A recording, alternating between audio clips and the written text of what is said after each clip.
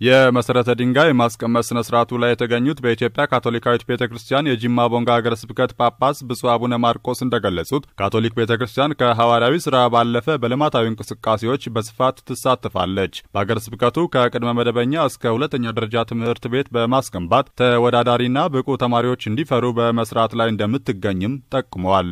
የካቶሊካዊት ቤተ ክርስቲያን ከመንፈሳዊ ስራዋ ጎን ለጎን ከመንግስትም ጎን በልማቱ ስራ ጉልህ ሚና የምትጫወት የእምነት ተቋም ናት። ይህ የአሪዮ ካቶሊክ Learning Institute ደግሞ ለሀገረ ስብከቱና ለአካባቢው ዜጎች ትልቅ ዕድል ይዞ የሚመጣ ሰፊ ፕሮጀክት መሆኑን ተናግረው ለዚህ ስኬት የተባበሩ አካላትን አመስግነዋል። በሥነ ሥርዓቱ ላይ የተገኙት የካፋ ዞን ዋና አስተዳዳሪ አቶ እንዳሻው ከበደ በበኩላቸው ካቶሊክ ቤተ ክርስቲያን በዞኑ በሁሉም አካባቢዎች ለምታከናውናቸው ሰፊ ተግባራት አመስግነዋል። ይህ ፕሮጀክት ለቦንጋና ለአካባቢው ተጨማሪ የልማትና የእድገት አቅም መሆኑን የጠቀሙት አቶ እንዳሻው የዞኑ አስተዳደር ለፕሮጀክቱ ውጤታማነት አስፈላጊውን ድጋፍ ያደርጋል ብለዋል።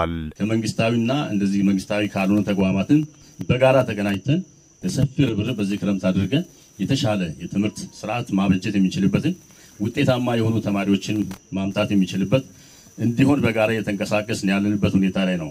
የአሪዮ Learning Institute እዚህ የመጣውና ይሄ ከስራችንና አሁን ከምናደርገው እንቅስቃሴ ጋር እጅግ ተያያዥነት ያለው በመሆኑ ለዚህ ጋር ተያይዞ ባለው ነገር እኛ ያው የበኩላችንን ድርሻ እንደምንወጣ በዚህ አጋጣሚ እያረጋገጥኩ ወደዚህ አካባቢ ሌሎች የሚጎሉ ነገሮች ካሉ እንደ መንግስት ጎን ለጎን ሆነን የሚያስፈልጉ ነገሮችን ለማሟላት የዞኑ አስተዳደርም የከተማው ከንቲባ ከጎናችሁ እንደሚሆን በዚህ አጋጣሚ ቃል እገባለሁ። የደቡብ ምዕራብ ኢትዮጵያ ሕዝቦች ክልላዊ መንግስት የመንግስት ረዳት ተጠሪ አቶ በላይ ተሰማ በበኩላቸው የሃይማኖት ተቋማት ከሃይማኖታዊ አስተምህሮ ባሻገር በልማቱ ዘርፍ የሚያደርጉትን ድጋፍና ተሳትፎ አጠናክረው እንዲቀጥሉ ጥሪ አቅርበዋል።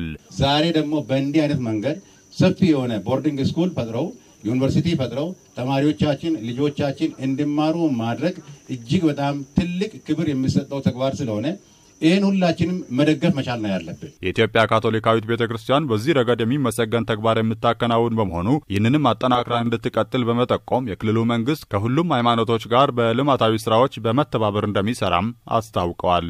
የቦንጋ ከተማ አስተዳደር ከንቲባ አቶ አስማማው አደመ በበኩላቸው ቦንጋ ከተማን መልሶ የማልማቱ እንቅስቃሴ በተጀመረበት ወቅት ይህ ትልቅ ፕሮጀክት የመሰረተ ድንጋይ መጣሉ እንዳስደሰታቸው ተናግረዋል። ከመንገድ ጋር ተያይዞ የተነሳ ነገር አለ። እንደተባለው ድልድዩም እዚህ ጋር በገጠር መንገድ ተጀምሮ የቆመ ድልድይ አለ። እሱንም ከሚመለከተው አካል ጋር ተባብረን እና አስተባብረን እንዲሁም አጠቃላይ ይታወቃል። ያው አቅም በፈቀደ መጠን ተባብረንም አስተባብረንም ሁሉንም ለማስተካከል በጋራ እንችላለን። አመሰግናለሁ።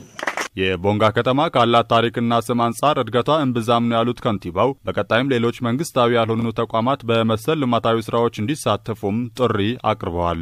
ፕሮጀክቱ 33 ሄክታር መሬት ላይ የሚያርፍ ሲሆን 630 ሚሊዮን ብር ወጪ ይደረግበታልም ተብሏል። ይህን ፕሮጀክት ለማግኘት በዓለም ደረጃ በርካታ አካባቢዎች መወዳደራቸው የተገለጸ ሲሆን በተለያዩ መስፈርቶች ወደ ኢትዮጵያ እንዲሆን ተወስኖ በዚህም ቦንጋ ከተማ ላይ የመገንባቱ ጉዳይ ተረጋግጧል ነው የተባለው።